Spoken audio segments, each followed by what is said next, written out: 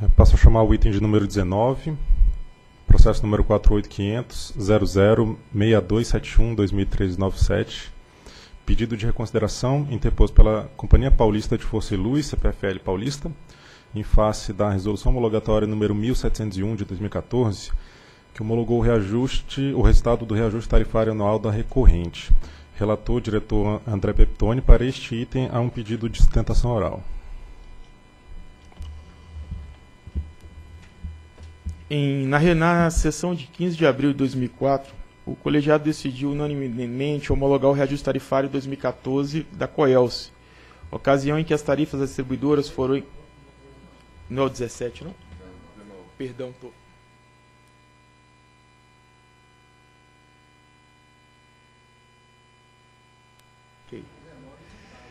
Não, estava no 17, estava no já sequenciado aqui, perdão. Vamos lá. Na, te na terceira reunião pública extraordinária, que foi realizada em 7 de abril de 2014, a diretoria colegiada da ANEL decidiu homologar o reajuste tarifário da CPFL Paulista, quando as tarifas das distribuidoras forem em média reajustadas em 17,18%. A partir de 8 de abril de 2014, então 14,56% são relativos ao foram relativos ao reajuste econômico e 2,62 foram relativos aos componentes financeiros.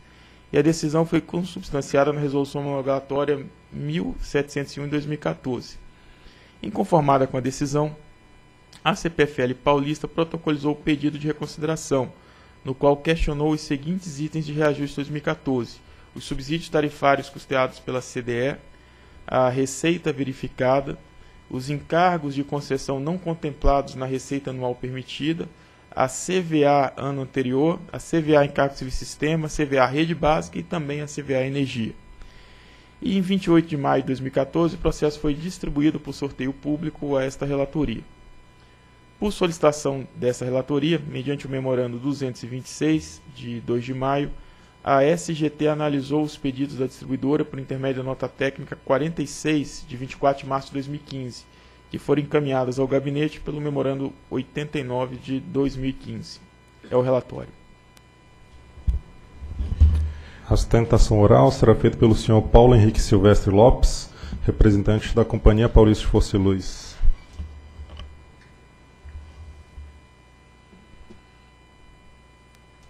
Obrigado. Bom dia, senhor secretário, senhor procurador, senhores diretores.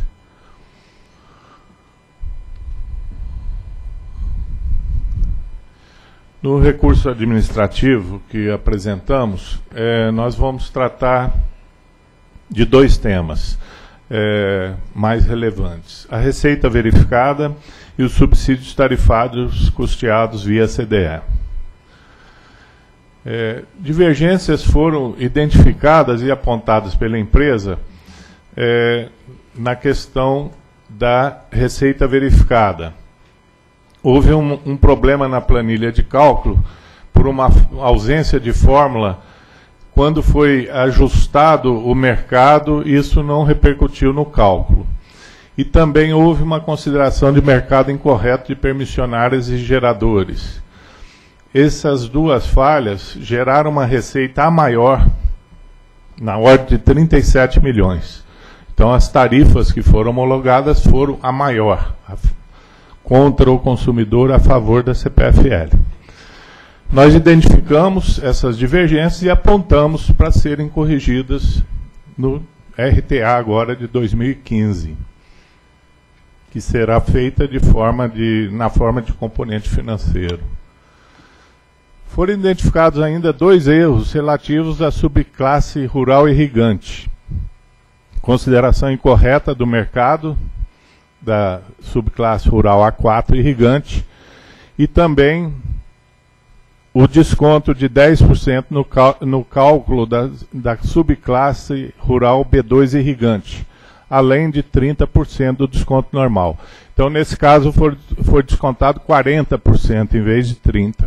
Então, houve também um erro nesse item. É, esses erros também geraram um subsídio a maior para a concessionária na ordem de 27 milhões que nós identificamos e apontamos à ANEL para que fosse corrigido. Então nós estamos falando aqui de 37 milhões a mais na tarifa e 27 milhões a mais nos subsídios que nós identificamos e apontamos a ANEL para que fosse corrigido. Quanto ao item 2, que é o do desconto da classe rural, nós identificamos a divergência na rural B2 irrigante. Mas no texto, nós colocamos que seria no rural B2. E depois, eh, nas interações com a SGT, eh, identificamos também que havia uma divergência no cálculo do subsídio referente aos consumidores livres, que adquirem energia de fonte incentivada. No, no reajuste de 2014, foi considerado um percentual médio de desconto inferior ao que foi concedido. Com relação ao Rural B2, é, nós, no recurso foi citado Rural B2 e não B2 irrigante, mas na realidade for, foi realmente é, identificado também no Rural um, um, um equívoco. É, por que, que não identificamos essa, esse, esse, esse erro com relação aos consumidores livres? Porque o erro equivalente do B2 rural era da ordem de 10 milhões. E dos consumidores livres, 10 milhões a mais. E dos consumidores livres, da ordem de 9 milhões a menos. Então, na análise que foi feita na planilha, eles praticamente se anularam e passou desapercebido. Nas tratativas com a SGT sobre o recurso, é, foi identificado que a divergência não se restringia ao rural B2 irrigante, mas todo o rural B2. E que ela é da, é, é da mesma natureza re, relacionada aos consumidores livres. Trata-se de subsídios cobertos pela CDE. É, ressaltamos aqui que os valores dos subsídios, tanto da classe rural quanto dos consumidores livres, refere-se ao período de fevereiro de 2013 a março de 2014, foram homologados no RTA de 2014 por meio da resolução 1701, em seu artigo 9. Portanto, não se trata de valores homologados na RTP 2013, e sim na RTA 2014. Conforme definido no artigo 2 do Decreto 7891, os descontos foram retirados da estrutura tarifária a partir da RTE de janeiro de 2013 e passaram a ser custeados pela CDE. De fevereiro de 2013 a março de 2014, a CPFL Paulista recebeu subvenção provisória da CDE para custear tais subsídios e somente na RTA 2014 houve a homologação da diferença entre o valor dos subsídios efetivamente concedidos e a subvenção recebida, no termos do disposto do parágrafo 2 do artigo 3 do referido decreto que transcrevemos a seguir. No parágrafo 2 diz: a ANEL definirá a metodologia para os repasses dos recursos de que trata o CAPT, considerando as diferenças entre os valores previstos e os realizados a ser aplicada a partir de 2014. Portanto, o presente recurso versa sobre o valor homologado por meio do parágrafo único do artigo 9 da Resolução Homologatória 1701 o valor mensal de que trata o CAPT contempla o ajuste referente à diferença entre os valores previstos e os realizados no período de fevereiro de 2013 a março de 14, bem como a previsão para o período de abril de 14 a março de 15. Então, diante desse, de, de, de todos exposto, é, mostramos aqui que houve a boa-fé da empresa, que identificou equívocos de 27 milhões e depois de mais 30 e, e poucos milhões, e apontou a ANEL. Então solicitamos que a consideração de, dos subsídios tarifários sejam também da mesma forma procedidos os ajustes, tanto os positivos quanto os negativos. Ressalte-se que o efeito consolidado dos dois será praticamente nulo, composto por um ajuste negativo de 10 milhões e outro positivo de 9 milhões. Era isso, muito obrigado, senhores. Procuradoria. Procuradoria opina pela presunção de juridicidade da decisão a ser proferida pela diretoria. O recurso é tempestivo e merece ser conhecido. E sobre o mérito, senhores diretores, temos que a distribuidora solicitou recálculo dos repasses da CDE em compensação aos subsídios tarifários concedidos aos consumidores da classe rural com atividades de irrigação e aquicultura e os da classe rural do subgrupo B2, fixados em 42 milhões e 111 milhões respectivamente.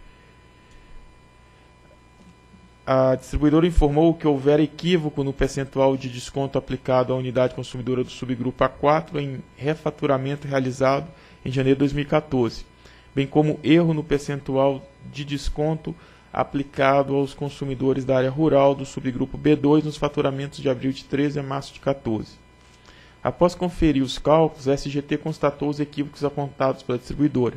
Identificou a diferença anual a maior a preços de abril de 2014 de 39 milhões e 490 mil aproximadamente no valor autorizado para ser repassado à CDE no reajuste 2014.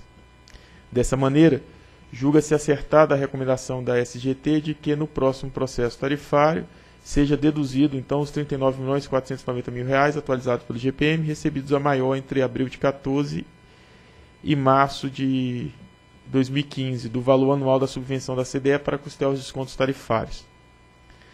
Ainda quanto ao recálculo dos repasses da CDE em compensação aos subsídios tarifários, registra-se que a SGT, pelo memorando 89, informou que a recorrente, por meio do correio eletrônico enviado em 24 de março, de 15 pleiteou o reconhecimento do componente financeiro positivo de 9.619, decorrente de divergência do cálculo do subsídio referente a consumidores livres.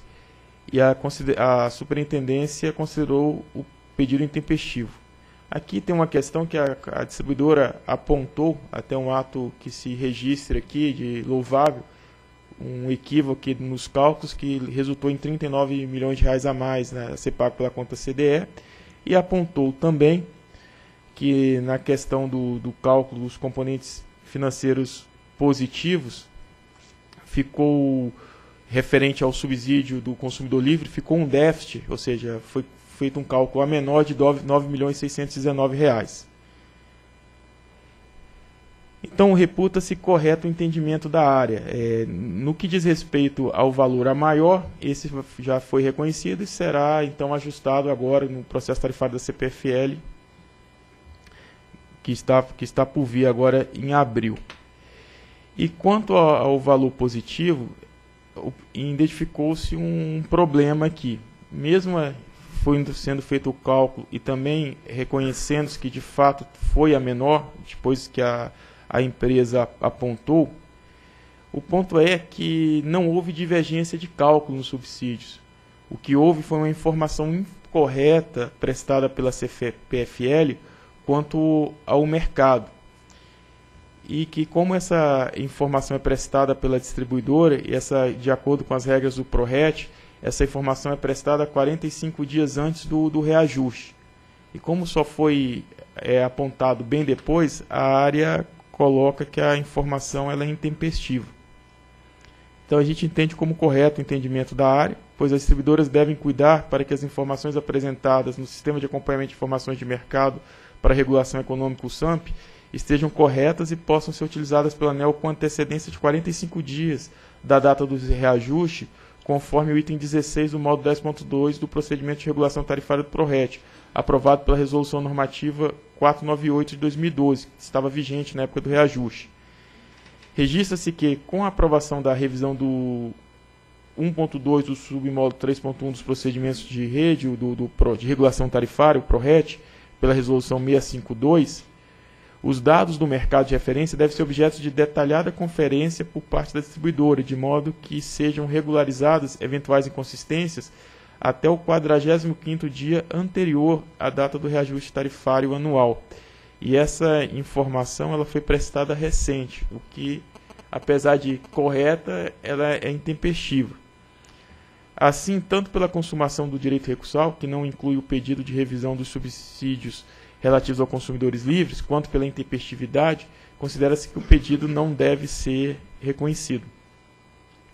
A recorrente solicitou a correção do mercado de referência utilizado para o cálculo da receita anual da data de referência anterior, DRA, por identificar erro de forma utilizada na planilha de cálculo de reajuste, e a SGT, pela nota técnica 46, identificou as inconsistências apontadas pelas distribuidoras e, após recalcular a receita anual, na data do reajuste em processamento, constatou diferença menor de 37 milhões, conforme mostrado na tabela 1.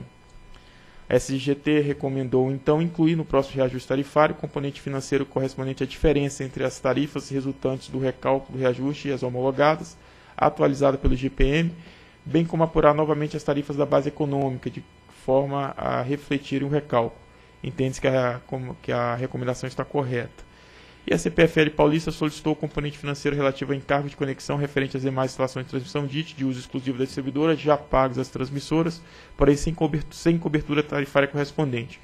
Quanto a esse pedido, destaca-se os seguintes pontos da nota técnica 46. Primeiro que a área técnica ressalta que somente as conexões que estão contempladas na resolução homologatória que estabelece a RAP pode ser objeto de cobrança pela transmissora. Ressalta ainda que o submodo 3.3 do PRORET veda a consideração de ajustes compensatórios posteriores relativo a empreendimentos sem estabelecimento prévio de RAP. E, por fim, recomenda a área técnica o indeferimento do pedido. E por considerar que os encargos de conexão homologados e vigentes na data de processamento e reajuste 2014 foram todos incluídos no cálculo tarifário e que a concessionária pleiteou a inclusão de valores não homologados pela ANEL, então não tem como se acatar esse pleito. E a recorrente apontou ainda inconsistência no cálculo da CVA saldo a compensar, haja vista a incorreta inclusão de 806 mil reais a título CVA energia faturado entre abril de 13 e março de 14. Argumentou que não houvera valor faturado na CVA energia nesse período, pois tais valores foram repassados pela CDE conforme o despacho 1114 de 2013 e pleiteou o componente financeiro correspondente. A área tarifária da ANEL informou que o valor considerados como valor faturado na CVA, na verdade, se referiu ao valor faturado na CVA Transporte de Itaipu. Identificou o valor negativo de R$ 1.186.000, considerando originalmente na CVA Transporte Itaipu, e na verdade integrava a CVA Rede Básica. Justificou tais equívocos como os erros de transposição dos dados nas planilhas dos reajustes tarifários. E a superintendência destacou que os equívocos não afetaram o cálculo da CVA, saldo a compensar, pois não alteraram os totais faturados, segundo demonstrados na tabela 2 e 3. Que os totais faturados é uma soma, então estava apenas alocado o valor na, na, na coluna incorreta. E desse modo, entende-se que o pedido de componente financeiro pela compensação indevida do item CVA Energia deve ser indeferido por ausência de efeitos tarifários registrados pela SGT. A recorrente solicitou o recálculo do correspondente componente financeiro do, do, da CVA em capos de sistema em razão da ausência de algumas faturas no cálculo realizado no reajuste. E por meio da nota técnica 46, a SGT destacou que os valores utilizados no reajuste foram os informados pela SFF, por intermédio do memorando 308, e após fiscalização realizada pela ACESP, que é a nossa agência conveniada do Estado de São Paulo. A unidade organizacional recomendou que as faturas ora apresentadas pela concessionária fossem consideradas somente após a fiscalização dos valores pela SFF, com efeito tarifário no processo subsequente, em caso de divergência dos valores considerados em 2014, devidamente atualizados pela Selic. Caberia, portanto, à concessionária pleitear no próximo processo tarifário a análise da fiscalização quanto às faturas. E verifique-se ainda que o pleito apresentado pela recorrente é, todavia, de componente financeiro negativo de R$ 381.946 e que não há fundamento legal que obste o, o conhecimento e o provimento do pedido. Com efeito, trata-se de direito disponível pela concessionária que pode, inclusive, oferecer descontos isonômicos aos consumidores. Deve-se, portanto, incluir no próximo processo tarifário o componente financeiro negativo solicitado pela recorrente.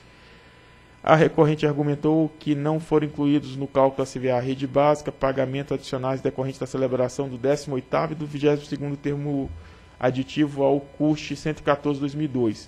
Sustentou que tais aditivos foram celebrados em 1 de novembro de 12 e 1 de julho de 13, mas que, por razões que não poderiam lhes ser atribuídas, o ONS teria cobrado valores adicionais em sua fatura emitida somente em novembro de 13 Assim, pleiteou a incorporação dos valores cobrados e pagos pelas faturas de novembro de 13 na CVA Rede Básica. E após analisar os fatos, a SCG identificou diferença de R$ 1 milhão e 50 mil reais na base anterior do reajuste, aqui deve ser a SGT.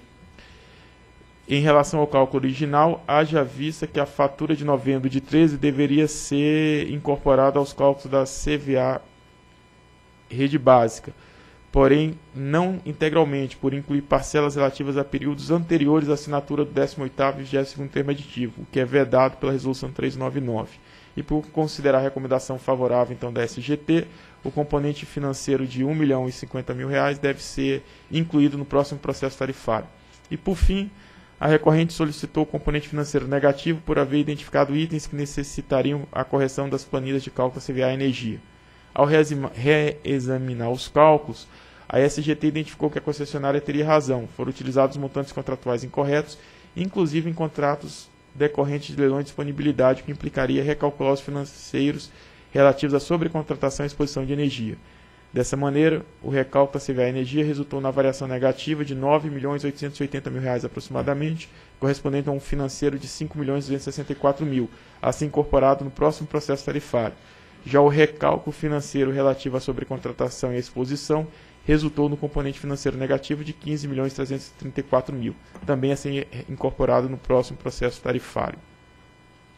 São esses os pontos, e a partir de tais argumentos e do que consta no processo 48.500.006271-2013 de 97, voto por conhecer do pedido de reconsideração interposto pela CPFL em face da resolução 1701 de 2014 no mérito dar-lhe parcial provimento para determinar a inclusão no próximo processo tarifário. Do ajuste financeiro negativo de 39.490.000 mil reais atualizado pelo IGPM relativo ao recálculo da subvenção CDL e subsídios tarifários concedidos aos consumidores da classe rural com atividade de irrigação e agricultura do subgrupo A4 e da classe rural do subgrupo B2, do componente financeiro correspondente à diferença entre as tarifas resultantes do recálculo reajuste e as originalmente homologadas, atualizado pelo GPM, relativo à correção do mercado de referência utilizado no reajuste 2014, dos componentes financeiros negativos de R$ 381.949 aproximadamente atualizado esse pela Selic, porque trata-se de CVA encargo de serviço sistema, do componente financeiro positivo de R$ 1 milhão e 50 mil reais, como é CVA rede básica e Selic, e por fim do componente financeiro positivo de 5 milhões 264 mil a preço de 1 de abril de 15 e de ajuste financeiro negativo de 15 milhões 374 mil a preço de abril de 15, ambos atualizados pela Selic relativo a, ao recálculo da CVA Energia e da sobrecontratação da exposição de energia, respectivamente, é o voto. Em discussão. 14. É, complexo aqui o assunto, que são vários itens, André, mas eu fiquei ainda com uma dúvida do ponto que foi levantado na sustentação oral. Eu entendi assim que pelo rigor lá do PRORET, do rito, né, é uma previsão que é de responsabilidade da empresa, ela aportou uma provisão, pelo que eu entendi, errada, e isso de alguma maneira induziu a ser computado no processo aquele valor depois se percebeu que a informação estava errada, só que fora do, do tempo lá do prazo regulamentar, ela aportou a informação correta. Então aí nós não estaríamos acatando por essa questão do, de não ter observado o prazo. É claro que o rito é importante, exatamente toda a regra do PRORET foi estabelecida exatamente para garantir essa sequência e a segurança e a. É, das informações para que a gente possa deliberar no, no tempo né, que o reajuste, processo tarifário tem um, uma data, vamos dizer assim, que não podemos deixar de observar. Mas a, a me incomoda, né, porque de fato a empresa é uma atitude até elogiável, aqui eu acho que cabe esse registro que o relator já fez, e, e eu quero também reforçar né, de que não é comum que a empresa tenha identificado algumas falhas, que foi no sentido de beneficiar a empresa, ela aponta essas falhas né, para que seja corrigido, quer dizer, é uma atitude se espera de todos, mas infelizmente não é uma prática é, generalizada, portanto digna de registro por parte da ANEL aqui da atitude da CPFL Paulista. Agora, ao ponto também que aponta uma outra imperfeição, e aí por um, talvez um rigor em termos do rito, a gente acaba não considerando isso de novo, é, me, me, me, sugere assim uma, uma sinalização ruim, dizer, poxa, se eu aponto uma coisa que é desfavorável a mim, prontamente a, a agência reconhece e corrige. Eu até arrisco aqui fazer uma, uma indagação. E se essa correção do mercado fosse o contrário? Ou seja, se ela tivesse informado um, um valor de mercado que identificou uma falha e a nova informação viesse no sentido também de, de digamos assim, de retirar, de beneficiar o consumidor. Será que também não seria o caso de fazer? Eu fico com essa dúvida. Entendeu? Então, eu acho que com relação aos outros itens, está uma análise bem exaustiva e completa. E esse item até acho que a área não pode fazer muito diferente, mas eu fico com dúvida se a diretoria não deve acatar também esse item. É, Romeu, eu, eu concordo contigo nesse aspecto. Eu, eu acho que é, fica parecendo quase um casuísmo, né? Embora quem sabe que tem os prazos, eu concordo com os prazos, é, e acho que tem que ter prazo, porque senão daqui a pouco nós estamos, nesse momento aqui deliberando, estão trazendo informação nova.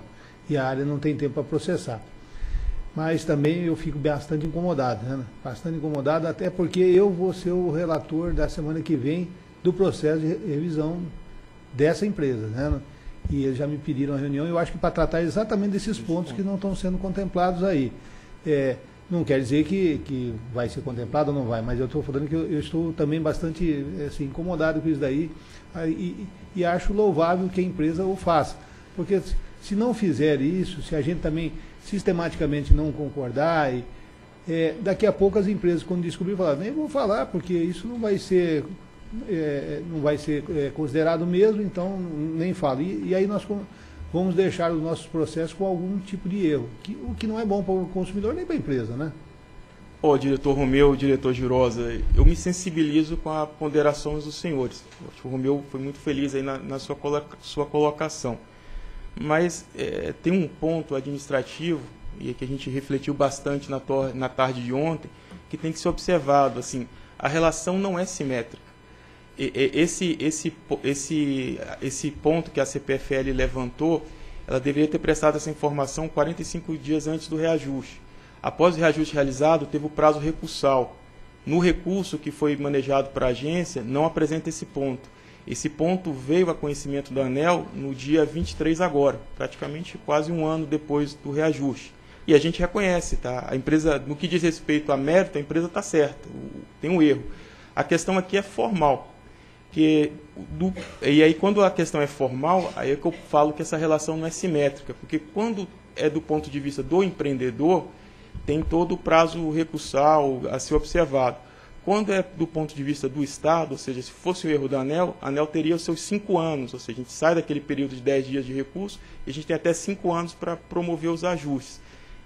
É, de fato, é um conflito, o Romeu, o Jurosa sensibilizaram bastante, mas a gente tem que observar o rito e, assim, em, em, ao fazer o voto, eu levei a convicção que isso não, essa questão não, não traça-se de um direito disponível, não caberia a gente não teríamos essa faculdade de, de acatar ou não acatar. Infelizmente, eh, a gente tem que cumprir o rito.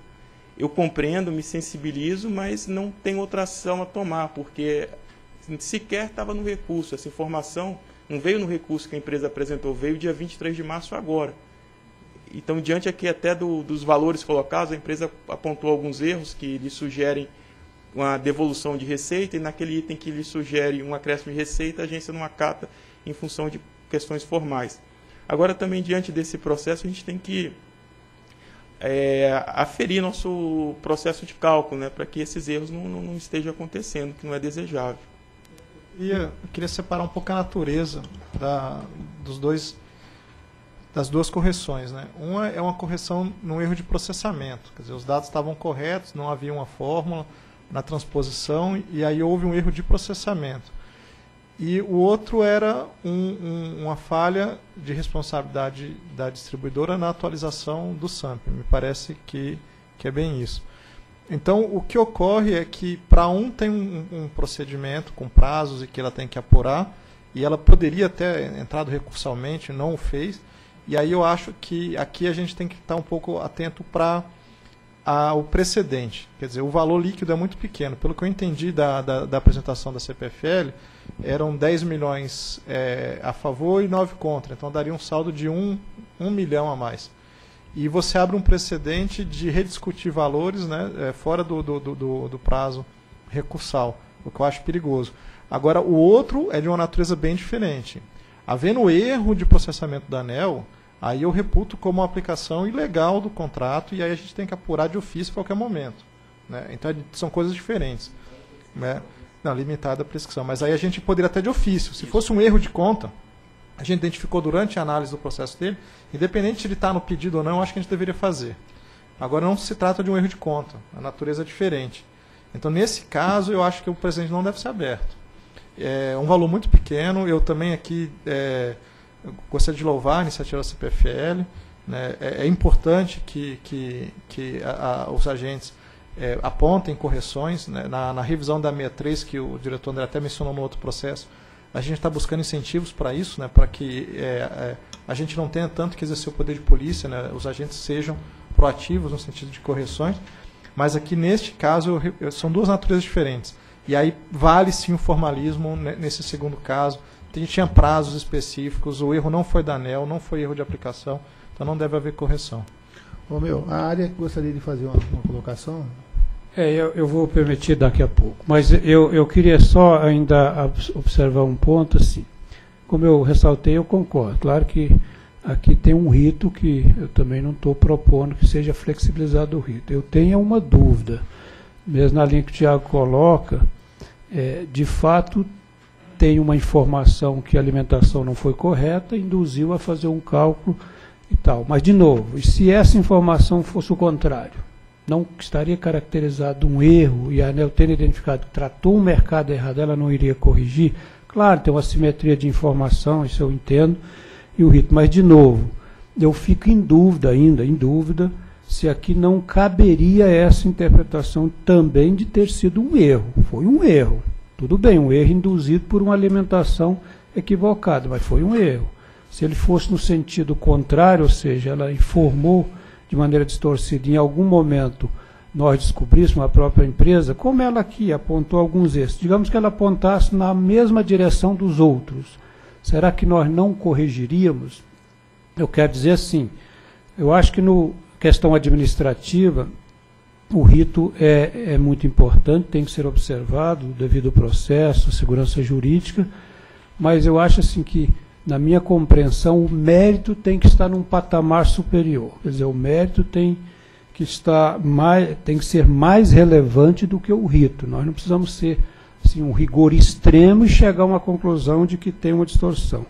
Mas assim, eu não tenho particularmente aqui eu até entendo que o processo é muito mais amplo e tem vários aspectos aqui que vai na direção de devolver ao consumidor, não tem nem como fazermos, é, na minha visão, deixar de deliberar, porque já no próximo processo é, já teremos que repercutir tudo isso no processo tarifário. Né? Então eu entendo o esforço que o relator fez no sentido de ter a melhor informação, ou a sua convicção, melhor dizendo, para que a gente pudesse deliberar. Mas, mas André, o que eu aqui vou fazer uma reflexão, fica evidentemente a seu critério como relator, é que talvez pudesse deliberar todos os demais itens, porque esse já não há dúvida nenhuma, e talvez você é, suspender esse item só para aprofundar um pouco mais isso. Eu, particularmente, tenho essa dúvida, mas eu acho que não pode prejudicar a deliberação de todo o processo, pelas razões que eu já comentei. Mas esse item, é claro que não temos, eu acho que todos nós, inclusive eu, segurança de dar provimento a ele no momento. Então não seria o caso de fazer isso. Mas também, como é a última instância administrativa, se negarmos aqui não tem mais como revisitar o tema. Então, talvez uma alternativa, não sei o que, que lhe parece, seria é, sobrestar esse item só em particular, quer dizer, não vai beneficiar, não vai dar é, provimento nenhum, mas para desdobrar um pouco mais essa questão só assim, para ver se é, é, é, simétrico essa questão. Dizer, se o erro fosse na outra direção, caberia, ou é isso mesmo? Se for numa direção, a gente tem que fazer, se for na outra, não pode fazer. Bem, é uma questão inclusive jurídica presente, que tem que ser um pouco mais é, aprofundada e talvez aqui a gente não tenha condições de, de, de desdobrar toda essa conversa. Não sei o que, que, que, lhe parece essa alternativa. Quando que é o processo da CMPFL, semana que vem? Semana que vem. Eu vou fazer o seguinte, Romeu, então atendendo aí o seu apelo, eu vou deixar sobressar esse item, apesar de já ter realizado essa, essa análise, mas eu trago então essa convicção de novo para semana que vem para a gente deliberar. Aí posso dizer que eu já tenho um conforto, mas aí com o conforto de todos os integrantes aqui do pleno, para que acompanhe ou para que não acompanhe. O importante é exaurir né, as possibilidades que todos tenham conforto. Viu, André, e no limite, aí depende aí da sua, eh, da, vamos dizer assim, da, da dinâmica que conseguimos empregar, não precisa esse item em particular necessariamente deliberar até a semana que vem. A minha proposta é sobrestar esse, se ele não conseguir é, é, deliberar em tempo de repercutir um eventual impacto no próximo reajuste, ele pode ficar para o outro.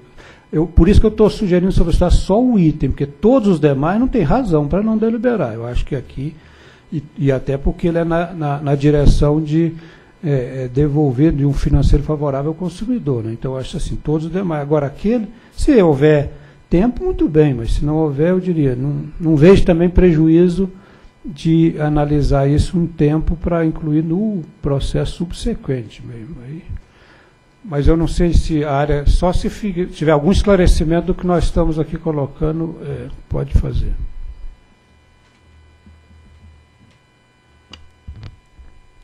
Conforme já discutido aí, assim, a ideia da área foi recomendar indeferimento por não ser tempestivo. Né?